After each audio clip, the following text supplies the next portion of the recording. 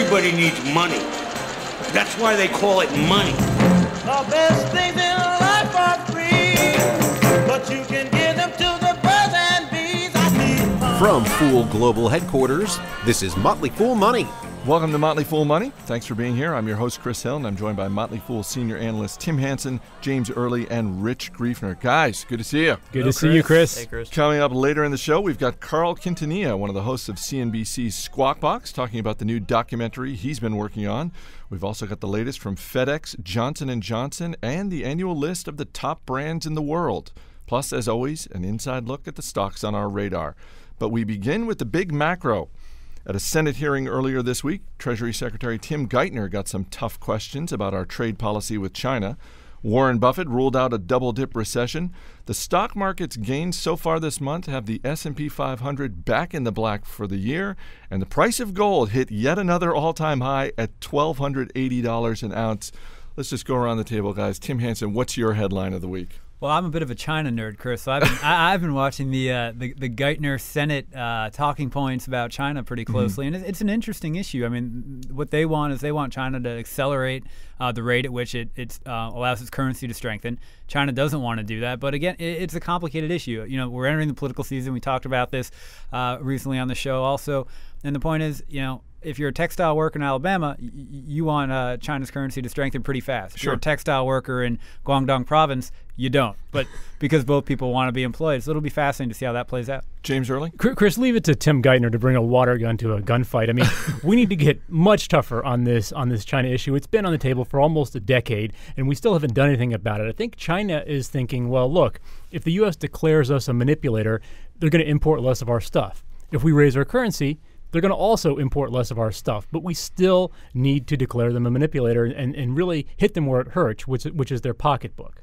Well, you know, it's a tricky issue. I mean, because if you do that, it, it, there's a lot of thought. It's a very complicated issue. I mean, remember, China um, happens to be our largest creditor at this point, and if we label them a currency manipulator and they decide to, and, and we stop importing their stuff, that reduces their ability to buy our debt. And it's a bit of an academic issue, but our government right now is, is being subsidized by the Chinese in all of our spending priorities. That dries up, and we have some other problems on our hands. Ch- China owns five percent of the U.S. debt, which which is a lot. I mean, it's the biggest foreign ownership stake uh, ahead of Japan. But I still have to say, I think that, that in a war, which which I wouldn't want, tr- uh, a trade war, I should say. So let me be very clear about that. A trade war, China would come out the net loser here. That escalated pretty quickly. Rich Greifner, what was your headline for the week? Uh, well, Tim's a China nerd. I'm a bit of a Buffett nerd. And uh, I was surprised this week to see Buffett come out and practically guarantee that the U.S. will not have a double dip recession. He was pretty emphatic about that. So uh, Buffett says, uh, I've seen sentiment turn sour in the economy over the last three months or so. However, he's not seeing that in Berkshire's businesses. And uh, that's something, you know, he's got his fingers in a lot of pies. Berkshire owns something like 80 companies. So he's got a pretty good sense of what's going on. However, when I look at the data, I don't see anything to justify being as sanguine as, as Buffett is. What is his track record like when it comes to making these sort of broad, sweeping Oh, he's a economic hack. predict- I think he doesn't care at this point. He's making all kinds of. Well, actually, uh, Chris, that's a great question. His track record's uh, excellent. Uh, back in 1974, Buffett said, Now is the time to invest and get rich. He was correct. In 1979, he said, Now is the time to buy stocks. The stock market went on a 20 year bull run. Uh, then in 1999, he pretty much called the peak of that bull run. He said, Stocks are, investors in stocks today are expecting too much, and they were. And in October 2008, of course, he said, Buy American, I am. And we experienced a huge rally. But didn't he endorse the new Coke? Okay. Um, Rich, as you mentioned, uh, Berkshire Hathaway, 80 companies or, or in that Sure, sure. in that range, uh, ranging from everything from you know Geico Insurance to railroads uh, to Sea- Candies, See's sure. Candy. Um, is Berkshire in any way a proxy for the broad economy? Uh, I think it is in the fact that so Buffett says, you know, I'm hiring more people uh, this month than I was last month. I hired more people last month than I did the month before. What he's neglecting to mention is he fired uh, 17,000 workers in 2008 and 2009. So yes, I do think he's a good proxy for the U.S. economy. Don't bury research in motion. It's not dead yet. On Thursday, the BlackBerry maker reported better than expected profits, and the shares popped on the news. James Early, I, I know you're a big Apple guy, so you're you're you're probably not you know packing a BlackBerry torch. But uh, what did you make of Cr- that? Chris, let me tell you how it is. Um, in their recent quarter, RIM looked good in every way. Uh, except actually adding BlackBerry subscribers, and that's like saying everything was good about the restaurant except the food. Uh, it- it's it's slightly less dead than analysts thought, but but less dead is not is not good. But it's it does still lead the U.S. smartphone market. I mean, it, it's it's a little. I mean, for someone like me who doesn't actually have a smartphone, just looking at the landscape, it's a little bit of a disconnect to see the market leader um, basically being dismissed by everyone. Well, you know, the uh, RIM CEO went on a bit of a rant on the uh, the call after these earnings. He did. People are people are uh, very skeptical of RIM uh, for a lot of good reasons. Technology is clearly inferior to what's being offered by um, Apple, the iPhone, and the Android operating system. But he had he had at least one quote in that rant that was worth listening to, and it was. Because if you make these things so high end, talking about smartphones, Yep. that they're not addressable to the market, or that they're so consumptive of the networks, which, as we all know, are pretty strained, uh, that they can't scale. Well, that's not what we originally designed our business for. Translation. You know, BlackBerry is a basic product helping people do basic things. It's not trying to be a smartphone. And there was a fascinating article this week in Ad Age about some myths about the mobile business. And one of the ones that they, they pointed out was that smartphones may not end up dominating the mobile market. They compared them to DVRs, you know, the TiVo, those digital video recorders, which were rapidly adopted early on by people, and they got up to 30% market share really, really quickly. But then it stalled because you know 70% of the people out there weren't willing to buy them, pay the subscription fee, and also just didn't really care to have that much technology in their house. So there is an there is an idea out there, and and that as you go down market, people won't need iPhones, and that gives BlackBerry a, a place that they can hold on. But isn't isn't the BlackBerry still a smartphone? I mean, it, doesn't that actually hurt RIM more if the smartphone market doesn't grow quite as much? Well, I think it just the price point and the service contracts, and you know, obviously the network point is a really interesting one. I think one we've talked about in the past in this forum, which is that these networks are strained, and as people download more and more data, right now you get to pay a flat rate. You know, I mm-hmm. pay twenty dollars a month for my Android, all I can eat data. Well, what is what if everybody does that and the network can't handle it? So what I think the the, the phone operators are going to have to do at some point is start charging people per the amount of data downloaded. And when that happens, all of a sudden listening to Pandora on your iPhone 24 hours a day stops to be so economically attractive. Uh, you you mentioned the uh, the rant that the CEO uh, from Research in Motion went on. But you know those Canadians. I don't actually know if he's Canadian. Email I was just gonna say- The company is Hanson- Canadian. T. Just- Hanson just at go with it. Uh, but I want to bring in our, our man behind the glass, Steve Broido, because uh, one of the things, one of the phrases uh, he kept using on the conference call during this rant was this phrase, resolve the paradox. Um, Steve, not to put you on the spot, but um, do you have a paradox that you'd like to see resolved? Absolutely. Um, music television, which does not actually play music anymore. It's just great reality programming. So you're saying MTV needs a rebranding? I believe, yeah, and I think they may have even done that. I believe music television has been removed. It's just MTV. You're, lis- Meaningless letters now. you're listening to Motley Fool Money. We're going through some of the big stories of the week. Earlier this year, Johnson & Johnson recalled millions of children's Tylenol products. There are now reports that the company may have known about the problems and planned to remove the drugs from stores months before the official recall. James Early, Johnson & Johnson is a stock that you follow closely in the service you run. What did you think of this news? Well, Chris, yeah, it is kind of like a made-for-TV movie. I mean, I'll get the serious part out first. This news has been buzzing for a few months. It doesn't change how bad it is. I think their their consumer chief, Colleen Goggins, is going to leave next year over this, and now the House uh, Committee on Oversight and Government Reform wants to host uh, CEO Bill Weldon uh, again on That will or be a the first lovely time on party. exactly on September 30th.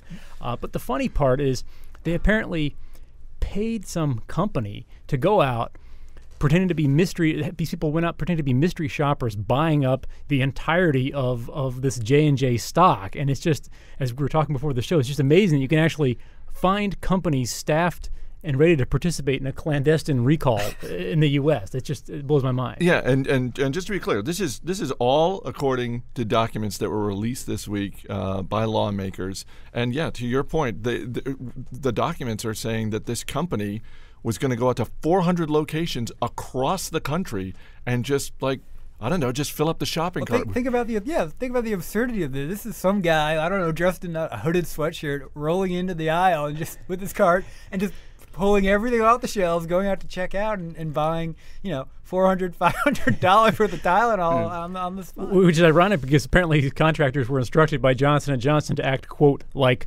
regular customers. very bad headaches. Well, uh, another reason why this is ironic is because Johnson & Johnson is the classic case study of how to successfully conduct a Right. product recall. They're the gold standard. if you recall, uh, back in the early '80s, Yep. you know, some nut in the Chicago area poisoned like five or six bottles of Tylenol. J and J conducted a nationwide recall. They they overreacted to ensure that their brand remained untarnished.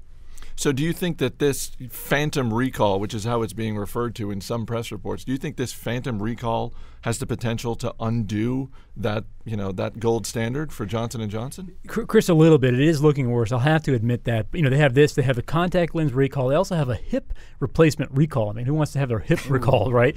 Um, but but J and J is a really, really, really big boat, and I think it's going to take more than this to rock it. Coming up, what companies have got the strongest brands in the world? Stay right here. You're listening to Motley Fool Money. Money makes the world go round, the world go round, the world go round. Money makes the world go round, Welcome back to Motley Fool Money. Chris Hill here in the studio with Tim Hanson, James Early, and Rich Greifner as we dig into some of the companies making headlines this week. On Friday, President Obama introduced Elizabeth Warren as a special advisor to help set up the new Consumer Financial Protection Bureau. Warren released a statement warning banks that the time for hiding tricks and traps in the fine print is over. Tim Hanson, what do you think about the new cop on the beat? Well, you know, I- I'm still reeling a little bit from that Elizabeth Warren rap video that came out a couple weeks ago, portraying her as the sheriff coming in to, to, to clean up Now, town. you, you were mentioning this during the break that there actually is Oh, you can a go to rap YouTube. video. You You watch a different genre of MTV. You can. ro- There is no more MTV. We learned that right. in the last segment. No, there is Music only television. MTV. that's right. That's right. Um, so it- she's portrayed as a sheriff coming in to clean up town, and that's certainly the perception that uh, the businesses she's coming in to sort of regulate have of her, which which has led to a lot of um, opposition to her i- i- in this role. Um, interestingly. Uh, you know, I'm, I'm I'm torn on the on the on the appointment, not so much because I have any animosity towards her, but because I really question the need for this this bureau at all. Um, the reason I think that I think you know this cheap credit thing we had over the past couple years. I- You know, think about it as compared to the war on drugs. You know, we can mm-hmm. attack and attack and attack the supply side. You know, go after the people who are making these products or go after the drug dealers. But until you attack the demand side and make sure that people are, are consuming more responsibly, you know, there's always going to be someone there to sell you meth. James? Well, Tim goes back to his bunker after the show. I, I will make the other point that, that an ounce of prevention is, is worth a pound of cure here. And I'm not for big government, to be very clear. But you know, if you look at the Community Reinvestment Act, if you if you look at, at some of the causes of, of the subprime crisis, you had people getting into things where they, they shouldn't have been. People by nature, by their by their by their just nature, I guess, uh, don't like to read the fine print, and I think that's I think they're always going to be like that. So I do think we have to protect uh, people uh, from themselves to some degree, as elitist as that sounds. All right, let's move on to some mixed news from FedEx. On Thursday, FedEx announced first quarter net income doubled and the company raised guidance, but also announced it's cutting 1,700 jobs in the U.S. Rich Greifner, what'd you make of the mixed news? Well, I mean, it's not very mixed news, uh, Chris. It depends on your perspective. Like Tim was saying, if you're a factory worker in Guangdong Province, was it? Yeah. Guangdong Province, you're happy. If you're a factory worker in Alabama, you're you're probably not pleased. That's not very mixed. That's uh, Black and white. yeah. Thank you very much. Uh, yeah, FedEx fired 1,700 U.S. workers. So again, going back to the Buffett uh, segment earlier, I, I just don't see the signs of improvement. Uh, for FedEx, I think the long-term growth drivers for the business are very strong. I think uh, international uh, economies are going to improve. I think increased international trade will be a boon for them. I also think uh, there's a trend towards e-commerce, which works well for a shipping company such as FedEx. But in the meantime, the company is still pretty levered to the U.S. economy, and the U.S. economy, you know, despite what Warren Buffett says, I I don't see it looking too healthy. So Tim Hanson? Well, this, you know, this is a theme that's been emerging across a lot of large U.S. companies, which is that they're seeing weakness in their earnings at home and strength in their earnings abroad. And I think that that lends uh, some credibility to the theory that you should be a, a global investor and a global business when it comes to figuring out what you want to do next year and beyond. James? And, and that's how I travel internationally. I just FedEx myself. It's so much cheaper. You're listening to Motley Fool Money. We're going through some of the big company news this week. Interbrand came out with the annual list of the top 100 global brands. Coca Cola, IBM, and Microsoft made up the top three. Other notables Apple, Google, and Amazon had some of the biggest gains on the list. BP, which had been on the list in previous years, fell off completely. Guys, Why did that happen? Yeah, was there any news related to that? Must have missed story? something. you might have heard a little something earlier in the year. Not a great year for BP, that particularly right? from a brand standpoint. Um, uh, just as investors, um, what, what, how important is a brand to you, and what did you make of the list? Well, brands are good to have. They're valuable. They obviously, especially when you're a consumer company, you'll notice most of the brands on the list are very consumer oriented. Coke at number one sticks out. You know, this is a global business that's succeeding in many, many countries using its flagship Coca Cola beverage and, and other well known beverages. Sprite has made the list as well. That's a Coke product. So brand matters and, and brand has value. Rich? Yeah, and I, I echo Tim's statement. Yeah, a brand has value, but it, you also have to support that brand. And I'll point out that, that every company has a brand. I mean, Jordache Jeans has a brand, but it's you know it's not as valuable now as it was back in the day. Uh, Those are fighting words. I notice James is wearing Jordache right now. Sorry about that. Acid wash. But uh, a name that sticks out to, to support that is McDonald's clocks in at number six. And right now, the brand's very healthy internationally as well as here in the U.S. But if you recall, not so long ago, back in the 2002 2003 timeframe, I mean, McDonald's brand was tarnished. It was known for being dirty, poor customer service.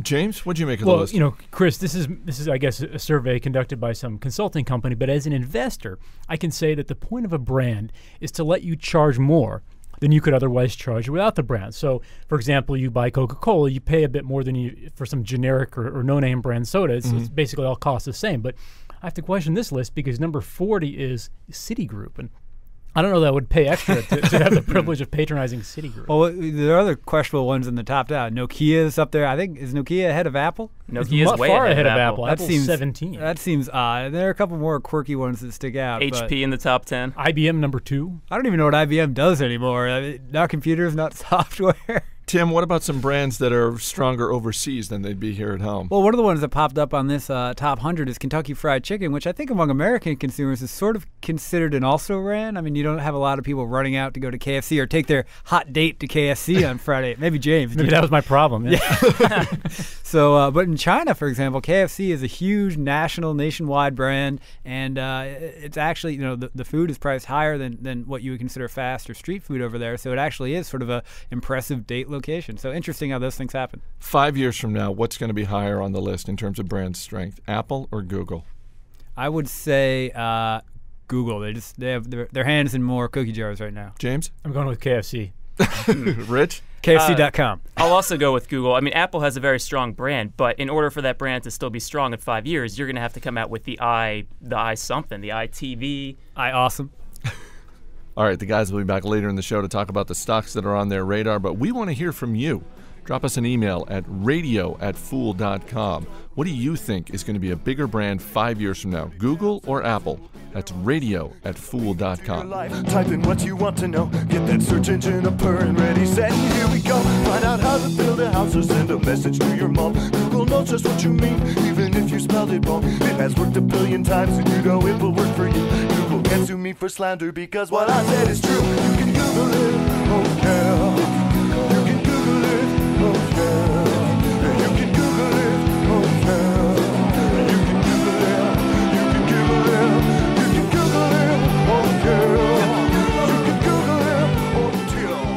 Coming up, CNBC host Carl Quintanilla joins us to talk a little trash.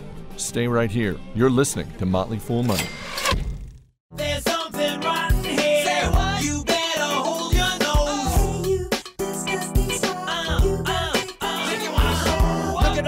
Welcome back to Motley Fool Money. I'm Chris Hill. My guest this week is one of the hosts of CNBC's Squawk Box, and he's the host of a new CNBC documentary, Trash Incorporated The Secret Life of Garbage. It airs on Wednesday, September 29th at 9 p.m. Carl Quintanilla, thanks for being here. Good to see you, Chris. Uh, you know, most people, I think, are like me in that we think about trash once a week when it gets collected. Uh, what is it about garbage that made you want to investigate this industry?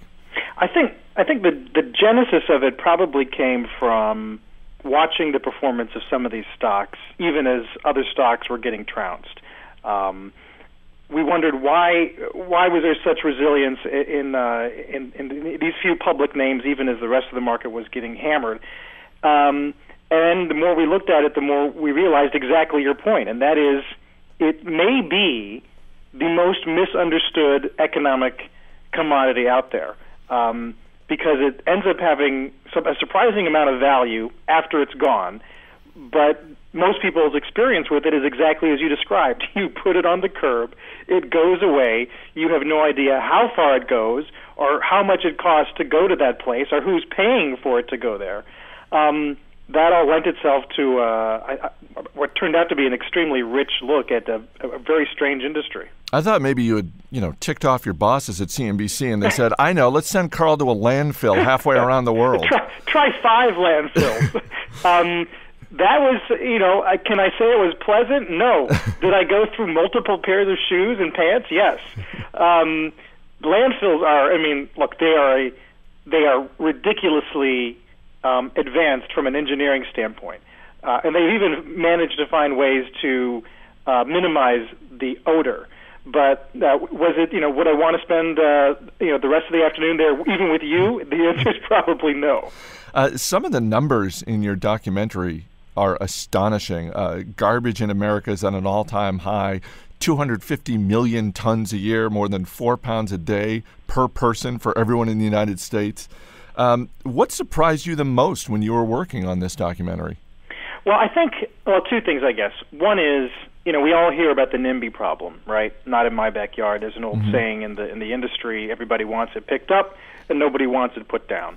So, the degree to which towns in America, I mean, it's incredible. It's a municipal ec- economic story, but a lot of these small towns in America are making a bargain to bring these landfills in, take a cut of the fees, and basically boosting their local budgets by 50%. I mean, that pays for a lot of little league fields and uh, and community theaters. Um, so that NIMBY problem seems to be fading, which is really interesting. The other thing is that as we've gone through this economic um, rough spot, trash levels, the, the stuff, the amount of stuff you and I throw away has obviously flattened out. Commercial trash, mostly stuff that they used to pick up from from housing and commercial real estate, that's obviously cratered. So where does the industry make up the difference um, for that volume, that lack of that loss of revenue? It turns out they're finding ways to turn trash, in most cases, into energy, just like just like Dr. Emmett Brown does at the end of Back to the Future, where he pulls up into the DeLorean, puts trash in Mr. Fusion, and flies away. That that ended up not being that far from the truth. Um, we visit this one BMW plant where half the electric grid is powered by methane gas. That blew me away. I had no idea that they were that so far along uh, in terms of energy generation at, with trash. You're listening to Motley Fool Money. We're talking with Carl Quintanilla from CNBC Squawk Box and host of a new documentary, Trash Incorporated The Secret Life of Garbage. Uh, a couple of the leaders in this industry are companies like Waste Management and Republic Services. Um, at the Motley Fool, as investors, we like companies that, uh, among other things, have a moat around them. Um, these companies seem like they're in pretty good shape in that regard. Are there companies out there that are poised to challenge them in any significant way? Um, well, if you don't mind me talking some economic vernacular, Absolutely. it would be very difficult for a new player to come in and have their kind of vertical integration. I mean, there are there are hundreds, uh, maybe thousands of private collectors. Because a truck, you and I could go out buy a truck for 250k, and we could start collecting trash in New York City and get paid, right? Sure. But we would have to eventually pay someone else to park it wherever it went into the landfill. What what what Waste Management and Republic and those guys, the big guys, have is that chain where they own the landfill, they own the trucks. Uh, in some cases, they either own or contract the rail. Um, that is where all of their cash generation comes from, and as you know, Chris, that cash is so um, flush and so attractive, and that's why the industry for years was a hotbed of organized crime because it, it's an efficient it was an efficient way to launder money just because of the sheer amount of cash flow in these these companies. It's incredible. When Warren Buffett came out earlier this year with the annual letter for Berkshire Hathaway, um, the thing that caught my attention was that the position that he had increased the most in his holdings was Republic Services. He had, he had more than doubled it. I mean, is that is that as good an indication as any that this is this is an industry investors should be looking at? Well, you know, far be it from you or me to speak for Buffett, but when you look at that position and you look at Burlington Northern, I mean, his bet, and granted, it's you know he's thinking on a time horizon that might not be that might not coincide with a lot of investors, but his bet long term is a play on goods moving around the country, uh, whether they are going to the consumer or away from the consumer. In the case of garbage, um, that is a that's a thesis that he has stuck with. It's been years now, and you're right. He absolutely doubled down with Republic and with Burlington. Um, it's going to be fascinating to see if it turns out to be right, but given his track record, who who wants to bet against him? You're listening to Motley Fool Money. My guest is Carl Quintanilla from CNBC. Earlier this year, you were in Greece covering the protests and the debt crisis. Uh, earlier this week, Prime Minister Papandreou said Greece can meet the demands of international lenders and avoid defaulting on loans without needing to impose more austerity measures. Do you think he's right? Um, I don't know. I, mean, I was I was there in May, and people's heads were spinning. Um, we really didn't know. They sort of where we were on our Lehman weekend, right? Yeah. Um, and so so much of the very near term future was cloudy. Then we had the ECB come in, and, uh, and we got through the rest of the summer. I, I think the bigger challenge right now is going to be um, changing an entire culture and way of life. Which, if you've read Michael Lewis's piece in, in Vanity Fair, uh, is is going to be difficult, and I'm not sure that any, any civilization in our lifetime has had to reinvent itself like that. To revamp your tax system to where it actually collects taxes, to convince uh, teachers that um, that benefits and pensions are, are, are going to change, and they're going to change for good.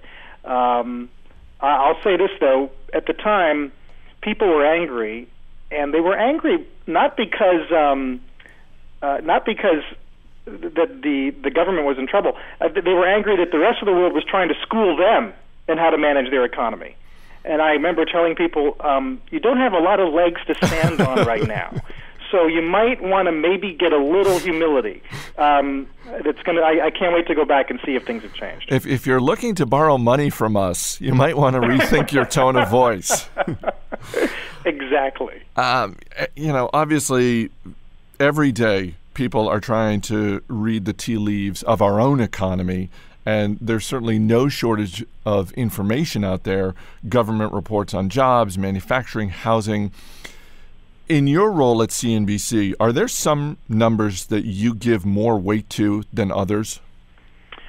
Well, um, let's see. Every, I mean, when durables roll around, we we tend to look at um, business spending X aircraft. That's a favorite that sometimes gets buried. I think.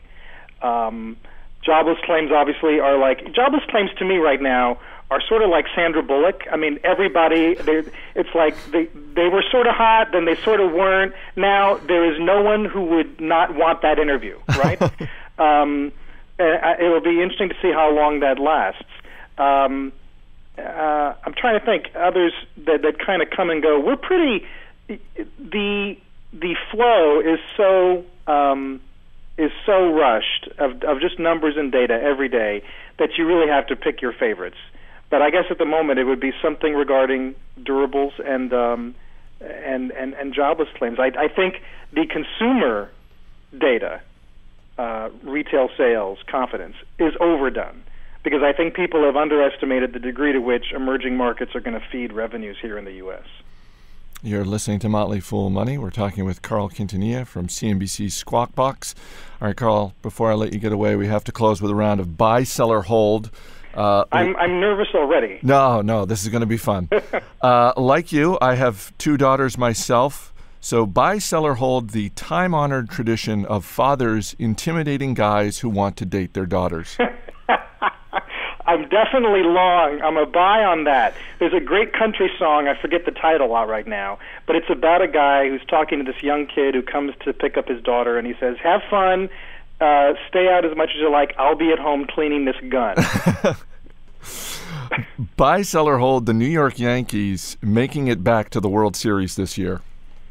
I'll say buy, and I can't say I'm thrilled about that. Really, you're you're, you're not a Yankee fan. I, I I respect them, um, but I, I I'm part of that group that says they they bought a lot um, when others couldn't, and I would love to see my Cubs. I'll, I'll be waiting for a while. You're a long-suffering Cubs fan. Yes. Uh, you can purchase these on CNBC's website. Buy, sell, or hold Squawk Box mugs. I'll tell you this: that this is the trade of the century. Definitely buy um, it, because you may not be able to get them. Production may not be able to keep up with demand. Now, I have to ask. I was looking at the mugs, it, and they've got uh, cartoon drawings of you and Becky Quick and Joe Kernan. Um, are you seeing? Are you guys seeing any of that money? Are you getting a cut of that? Um, if there's a check on the way, it must have gotten lost in the mail. I think they nailed Joe. They definitely nailed Becky. I think his eyesight must have been impaired when he did me because I look nothing like that. But I'm not going to complain. And finally, People magazine once named you one of the 50 most beautiful people in the world. So buy, sell, or hold the likelihood that your Squawk Box co-host Joe Kernan will one day receive that honor. I'm going to say buy only because I have to sit next to him for 15 hours a week. The new CNBC documentary is Trash Incorporated The Secret Life of Garbage. It airs Wednesday, September 29th at 9 p.m. So set your DVRs, people. Carl Quintanilla, thanks so much for being here. Chris, thanks. I love it because it's trash. Oh, I love trash. Anything dirty or dingy or dusty. Anything ragged or rotten or rusty. Yes, I love trash. It's some more rotten stuff. Coming up, Philip Morris did it, Arthur Andersen did it, and now high fructose corn syrup wants in on the act. Stay right here. You're listening to Motley Fool Money. Yeah, the best things in life are free, but you can give them to the birds. As always, people on the program may have interest in the stocks they talk about. Don't buy or sell stocks based solely on what you hear. I'm Chris Hill, and back in the studio with me, our trio of senior analysts Tim Hanson, James Early, and Rich Greifner. Guys, one story this week that we did not get to earlier in the show the Corn Refiners Association has petitioned the FDA to change the name of high fructose corn syrup to corn sugar because apparently that's how bad the reputation of high fructose corn syrup is. Um, so I wanted to use this as a, as a really cheap excuse to just talk about rebranding in general. Um, Tim, we've talked about this on the show before. How like Philip Morris rebrands itself as Altria, Altria, sure. but just here in the U.S., overseas, aren't they still Philip or it's still Well, Philip? they're still Philip Morris International. International, and they're they're still selling Marlboro cigarettes, and, and well, they still sell Marlboros here in the U.S. But you know, the the key to rebranding is that something has really negative connotation, like high fructose corn syrup Right. does, and you change it into something fun and, and lovable and cuddly, like corn sugar. Who doesn't love corn sugar? So my proposed rebranding, I think. There's a country that's fallen on a really tough time, sort of on the national stage right now. That's Russia. Okay. You know, Russia rebranded not too long ago. Sure. From the USSR mm-hmm. to Russia, and all of a sudden they were a democracy. and, and speaking of, that was a strong brand, the USSR. Well, right, and they but they, yeah, they had a nice run. They got Boris Yeltsin, who was very lovable and cuddly. but now, you know, this the Putin and corruption, and Yeah. they've got a problem on there. So I'm going to propose Russia rebrand itself as the North Pole. Bring back Putin or bring back Yeltsin Yeah. in the Santa Claus role, Santa and, Claus. and I think they might see a, uh, a turnaround in that country's fortunes. That's strong. I like that. well, you You know, got a lot Bru- of mail too. Yeah, well, Russia's been holding back the BRIC these last five years, so I think they need to do something about that. and that. you know what? I mean, that's that's gonna. I'll tell you where that's gonna help tourism. Oh, yeah, absolutely. Yeah. Because when kids start hearing about the North Pole, Everybody's going to want to go. families are all of a How many eight-year-olds want to visit Moscow today? Very few. you rebrand that to the North Pole, make the Kremlin into the the, the elves' workshop. I like They've it. got something. James Early, You know, what do you got? Chris, I want to start a business that sort of just arbitrages brands from one country to another. I, I found out that in China, somebody is selling Pabst Blue Ribbon, which here is sort of like the cheapest beer you can get, Bite your tongue, James Early. selling it for forty-four dollars a bottle, putting it as this exclusive "quote unquote" blue ribbon, you know, d- drink that's probably served in Kentucky Fried Chicken. Um, so you wonder how many other things are like that. Value is all relative. I'm sorry. Pabst Blue Ribbon is going for forty-four dollars. Forty-four dollars, Chris. We could have been millionaires had we thought of this. It comes in a fancier bottle, though. It's- It is a little bit nicer They've bottle. dressed it up. They've, although you know, consider you know, Corona is an example of a beer in Mexico that's sort of not expensive, and then you, you it comes in the United States, and it's it's one of it's in the premium premium category technically. It's on the brand list. It it's on the top 100 brand list. Rich Greifner, what do you got for rebranding? Uh, I'd actually like to rebrand a person, Chris, and Okay. that, that individual is Tiger Woods. Uh, I think we all know Tiger's fallen on some hard times, and I, I think it's just because he's not being true to who he really is. Oh boy. I mean, we, we've seen the real Tiger, right? He came back, tries to present himself as a family man. The wife's gone, the kids are gone. Embrace who you really are, Tiger. It'll see, The interesting to see what Nike has to say about that. They're probably going to dictate how Tiger Woods brands himself next year more than Tiger Woods will. What do you think? Do You think he just goes with the, the single first name, Eldrick? You think it's just that, like Cher? I think he's got to go to something like El Tigre and get it, get exotic. I like that. Steve Broido, you have a rebranding for me? I would love to rebrand Radio Shack. Uh, everything about Radio Shack just sounds awful. The word radio, which sounds somewhat outdated, I know that's probably blasphemous considering what we're doing right I was going to say, considering what we're doing right Uh, now, yeah. But and the word shack, neither of them just feel very, you know, current. How do you feel about Podcast Hut? I like Podcast Hut, except for Hut. Maybe Podcast Laser. something- Podcast condominium. Exactly, that's great. Plaza, how about that? Podcast Plaza. Alliteration. Uh, Have you have you like gotten that website? Have you secured that URL? I will do that right now. Our checks from Radio Shack now, Podcast Plaza, should be rolling in any minute now. Any minute. All right, let's uh, go around the table, talk about the stocks on our radar, and Tim Hanson, we'll start with you. So this is one I- I'm, I'm watching very closely, and I think other people should add to their watch list. And it is a, a Japanese tool manufacturer that all the handy people out there are going to know, and that's Makita, which is a uh, maker Sure. of power tools and drills and, and woodworking um, equipment. And the reason I'm watching is it's a Japanese country, uh, company, and as we all know, the yen right now is strengthening dramatically for a variety of reasons. This hurts Makita because their costs are denominated in yen, but they're selling in things like dollars and Chinese RMB and whatnot. So uh, my expectation is that people are going to notice that and the stock is going to drop. But Makita is a uh, superior brand, uh, superior company, great products, and you know. If, if it drops on this yen strengthening news, I think it'll be one to pick up. And what's the ticker symbol? The ticker is MKTAY, and that's on the NASDAQ, Makita. James Early? Chris, I'm also going tool today with Illinois Tool Works. The ticker here is ITW. It's not so much as tools, but, but a lot of miscellaneous industrial things. Uh, 3% yield, just raised its dividend 10%, which got my attention. I have not done a valuation on it yet, so, so it's not a, a, an endorsement per se, but it's an interesting stock. 18% return on equity, and 12 cents of every dollar they make gets converted to free cash flow. Rich Greifner? Yeah, Chris, we were talking about trash earlier. Uh, I've got a company that I like that plays in that niche. Uh, it's called Darling International, uh, ticker symbol DAR. And uh, despite the cute name, it's actually quite disgusting. It is a pretty cute name, though. Well, the business, frankly, businesses don't get much grosser than this. Uh, what Darling does is it operates processing centers where it takes animal carcasses, uh, used oil and grease from restaurants. You can probably stop there. No, no, no, it gets better, Tim. And it takes it and renders it into products that people actually want to use. Called hot dogs. Stuff, soap, fertilizer, not hot dogs. That is pretty disgusting. This is like Fight Club. It is a This little is bit the like- Tyler Durden company. in many ways. All right, and I'm sorry, one more time the ticker symbol? It's uh, DAR, Darling International. And the reason why I like it is these are disgusting services. No one's graduating from college looking to make big bucks in the trash rendering industry. So uh, a monopoly, it sounds like what you're saying. A very strong competitive position. All right. Rich Greifner, James Early, Tim Hanson. Guys, thanks for being here. Thank, you, Chris. Thank you. Thanks to our special guest this week, Carl Quintanilla. The new CNBC documentary is Trash Incorporated The Secret Life of Garbage. It airs September 29th at 9 p.m. If you missed any part of the show, you can find it at our website, motleyfoolmoney.com. Our engineer is Steve Broido. Our producer is Matt Greer. I'm Chris Hill. Thanks for listening, and we'll see you next week.